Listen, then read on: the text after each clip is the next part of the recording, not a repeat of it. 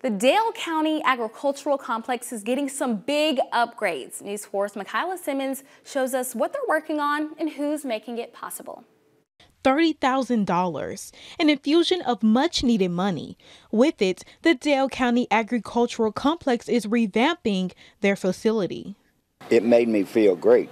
We needed it bad. We've been needing it for two or three years, and we finally got it. Now we can get the work done, and we appreciate it. The money will cover the cost of much needed repairs, improve safety, and refresh the look of the facility. Some work on our floor of the arena.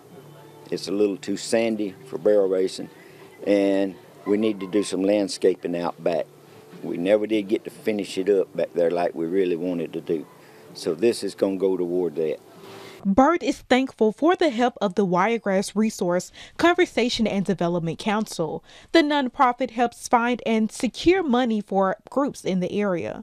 State Senator Donnie Chesteen says seeing a project like this come together is inspiring. With our merchants and, you know, just celebrate uh, all that we've been blessed with in this past year. Uh, you know, the farmers, we're thankful, so thankful for them. You know, they've had a tough year with with uh, with the drought we've had, but uh, they continue to do what they do to help us put food on the table, and then in turn, this has impacts on our merchants. So we're just it's a good night to fellowship.